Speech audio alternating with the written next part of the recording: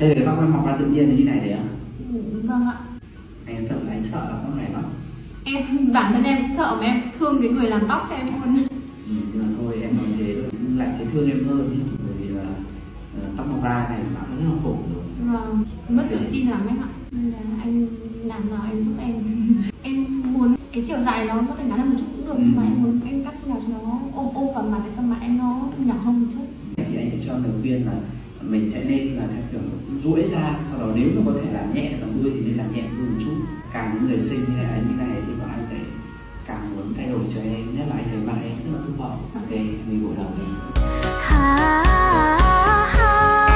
em xong rồi đấy. Em thấy cái tóc này thế nào? Em cũng thích như thế này thôi ạ em nghĩ thế này là hợp với em nhất rồi ạ. Ừ. đơn giản mà cũng nhẹ nhàng cũng hợp với mình nhất ạ.